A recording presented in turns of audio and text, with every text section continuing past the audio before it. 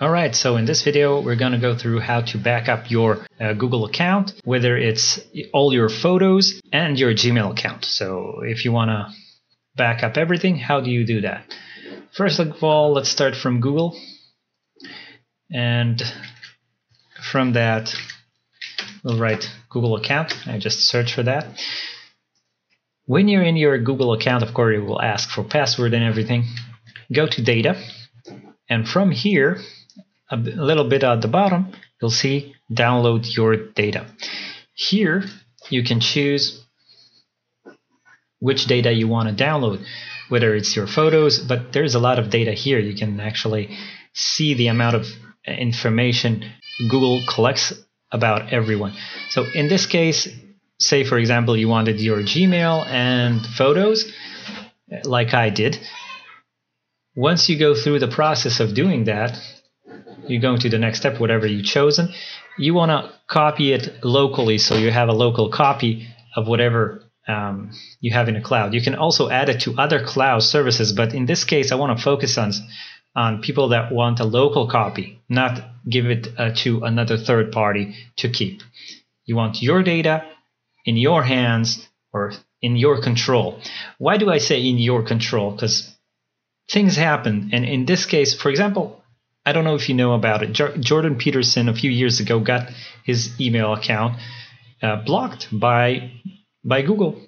one day he's trying to access his account and it's blocked. That I got an email from Google, and they said that they had reviewed the, my request to be reinstated, and that I had violated Google's terms of agreement or terms of service, and they weren't going to turn my account back on. And I thought, and they didn't say why. They didn't say anything. I got there was no warning whatsoever about any of this. They didn't tell me why. And they didn't say why in the email response. And so things like that can happen and it's a third party, a private company. You think it's safe, but who knows, something might happen and you'll lose all your data. So if you want a local copy, that's the way to get it. So let's talk about what you're getting. When Google is finished collecting all your data, it will set it up in files. A lot of files, as you can see here, I've uh, collected my images, and uh, that's 280 GB of images over 20 years or something like that. So that's collected locally. I'm, I'm down, I downloaded each one of those, collected them locally, and then I moved them to an external HDD. But some of you might want to back up your Gmail.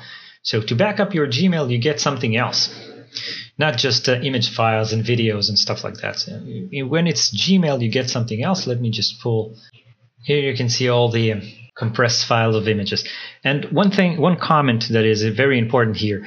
Uh, some of you that knows the uh, zip way of uh, compressing stuff know that you can chain um, a zip to break it into, uh, into smaller sizes. But this is not what's happening here. Each of those are uh, individual files you can uncompress separately. They're not dependent on one another, so you can uh, unzip them separately.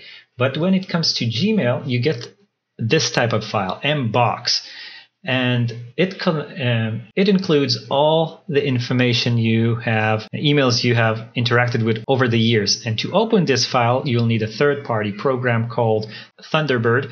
But Thunderbird is one of the best. Once you open Thunderbird, let me just open that. You would like to start seeing the data you've entered here, see that it's backed up and everything, and see that you can access it. Here you can see already the folder and all the emails in it. So you can see that it worked.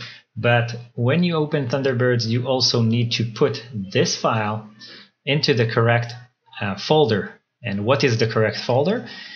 You can right click over this section here and do settings. And in the settings, you'll see the correct folder. Put this file here in this folder. And when you reopen Thunderbird, all your um, emails will be will be here double click on this and you just access it like an inbox. I won't open it because it's private information and I don't want to open my you know inbox over here. But this is what you do. But if you get to the options through any other uh, area, you won't find the library you're looking for. you need to go through here. So that remember that that you go from here to find storage. Okay, that's that, and let's see if there's anything else. I uh, hope it helped you. Back up your stuff, it's very important. Who knows what would happen, and it's always nice to have a local backup. Saying that, if the video helped you, subscribe, like, comment, that's the best thanks. Other than that, have a great day.